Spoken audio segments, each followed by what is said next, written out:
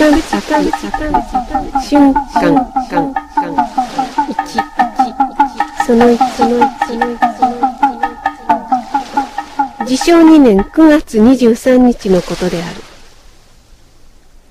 もしそれが都であったならば秋がたけて変わりやすい晩秋の空に北山しぐれが折々襲ってくる時であるが薩摩型の沖遥かな機械ヶ島ではまだ秋の初めででもあるように暖かだった。三人の流人たちは海を見下ろす砂丘の上で日向ぼっこをしていた。ポカポカとした太陽の光によくしているとところどころ破れほころびている合わせを着ていても少しも寒くはなかった。四五日吹き続いた風の名残がまだ折々水縄を飛ばす波頭に現れているものの空はいっぱいに晴れ渡ってさざ波のような白雲が太陽をかすめてたなびいているだけだった。そうした晴れ渡った青空から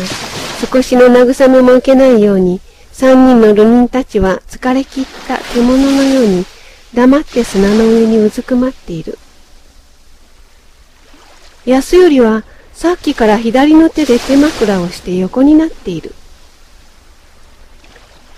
安よりも、成常も瞬間も、一年間の孤島生活でその心も気力も、すっかり叩きのめされてしまっていた。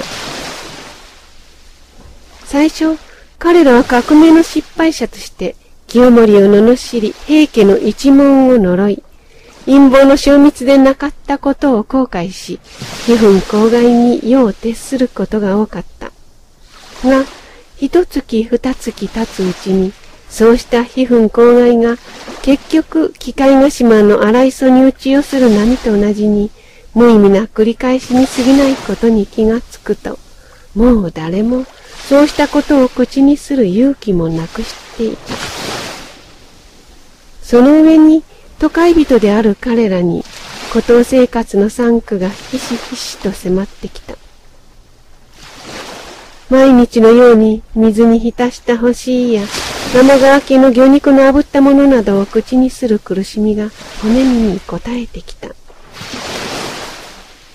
彼らはそうした苦痛を圧倒するような積極的な心持ちは少しも動かない。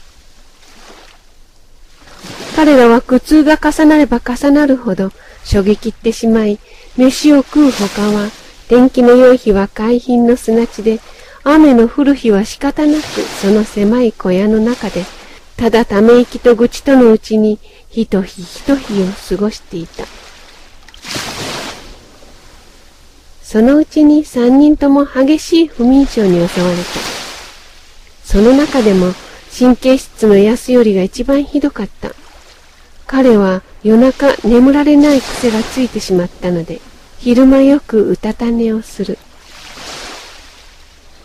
さっきからも横になったかと思うと、もうかすかないびきを立てている。長い間、カミソリを当てない髭がぼうぼうとして、その痩せこけた方を覆っている。その上、合わせた唇の下にはよだれが今にも落ちそうにたたえている。なりつねはなりつねで、もののけに疲れたような、きょとんとした目つきで、晴れた大空を当てでもなく見ながら、ため息ばかりついている。瞬間は、一緒に陰謀を企てた連中のこうした辛抱のない、不甲斐のない様子を見ていると、自分自身までが情けなくなる。陰謀を企てた人間として、今少しは男らしい自然としたところがあってもいい。刑罰のもとにこうまでへこたれてしまわなくってもいいと思う。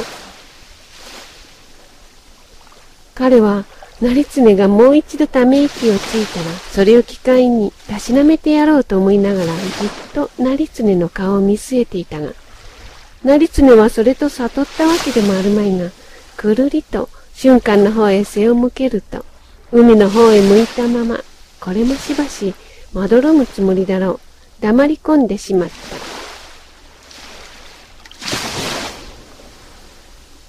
二人の友達が黙ってしまうと、瞬間の心も張り合いが抜けたように淡い悲しみにとらわれる。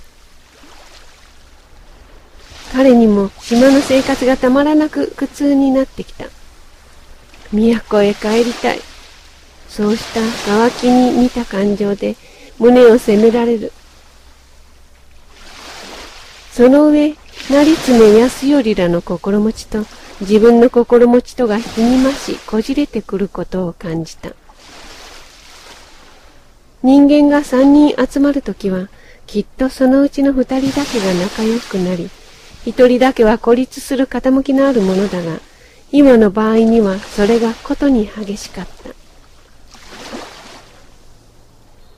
安よりも成常も彼らの生存が苦しくなればなるほど愚痴になってくる。そして過ぎ去った謀反の企てを心の内で後悔して始める。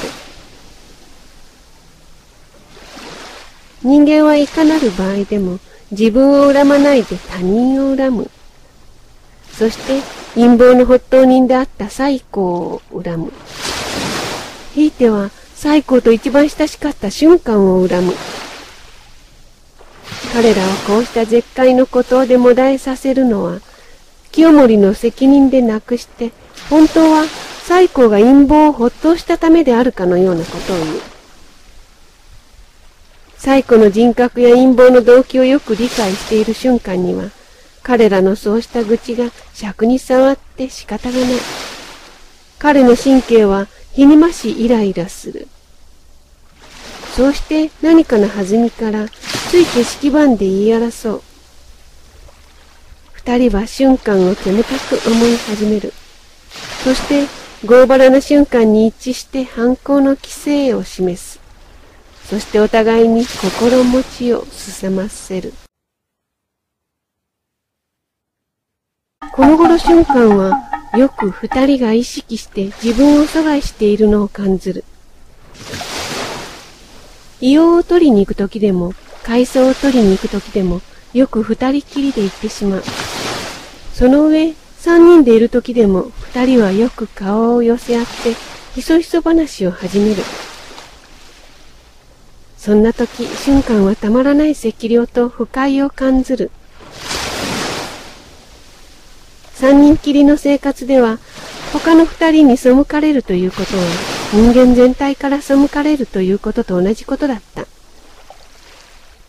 瞬間はそうした心苦しさを逃れようとして、自分一人で行動してみようかと考えた。が、一日自分一人で離れていると、激しい寂しさに襲われる。そして育児なく、成常と安頼とのところへ帰ってくる。そして再び不快な感情のうちに心を傷つけながら生活していく。今朝も獅子ヶ谷の会合の発頭人は誰だということで、瞬間は成常とかなり激しい口論をした。成常は真の発頭人は最高だと言った。だから最高だけは平宗国がすぐ切ったではないかと言った。瞬間は皆、御身の父の成近京こそ、真の発頭人である。清盛が御身の父を都で失わなかったのは、当時一門の考えようをはばかったからである。その証拠には、備前へ流されるとすぐ人知れず殺されたではないかと言った。父のことを足ざまに言われたので、日頃は言葉少ない成常も、劣化のように激して、瞬間と一刻近くも激しく言い争った。二人が口論に疲れて、傷つけられた胸を抱きながら黙ってしまうまで。成常と安頼とが横になっているいぎたない様子を見ていると、瞬間は意地にもその真似をする気にはなれなかった。彼は胸の内の寂しさとむしゃくしゃとしたうっかいとを漏らすところのないままに、腕組みをしてじっと考える。すると、いつもの癖であるように、妻の松の前や、娘の鶴の前の姿が幻のように胸の中に浮かんでくる。それから、京極の宿所の釣り殿や獅子ヶ谷の山荘の戦績の佇まいなどが彷彿として思い出される。都会生活に対する憧れが心をただらせる。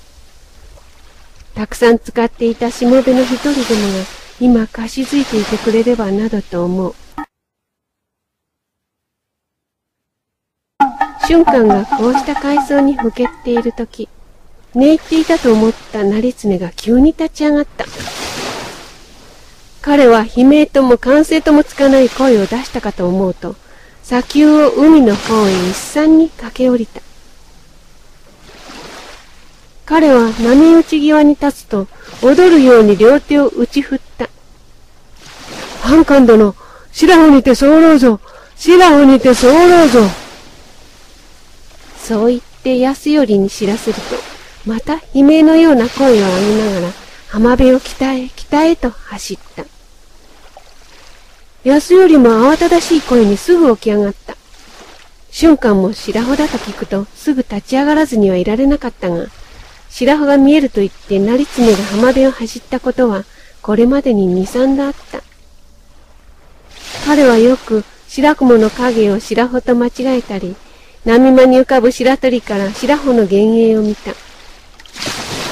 安頼はさすがにすぐ後に続いて走ったが、瞬間はまたかと思いながら無言のまま後からついていった。成常と安頼とは砂浜を混よく走り続けた。瞬間も彼らの熱心な走り方を見ると、自分の足並みがいつの間にか急ぎ足になるのをどうともすることができなかった。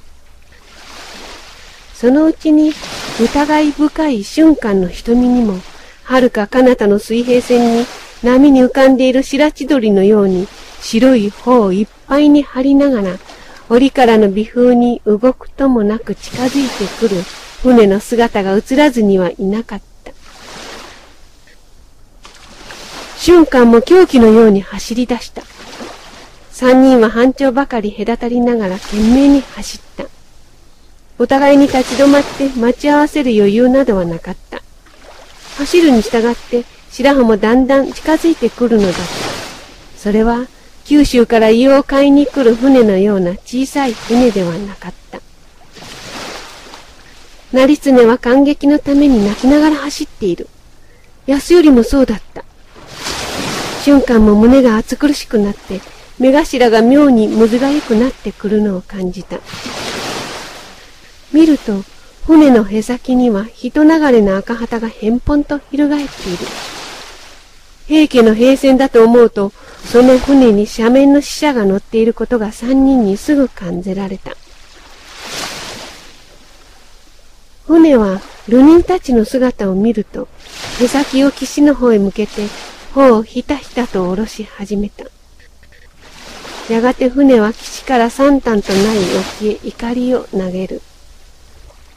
三人は岸辺に立ちながら声を合わせて喜びの声を上げた。さすがに瞬間をも除外しないで、三人は手を取り合ったまま声を上げて泣き始めたのである。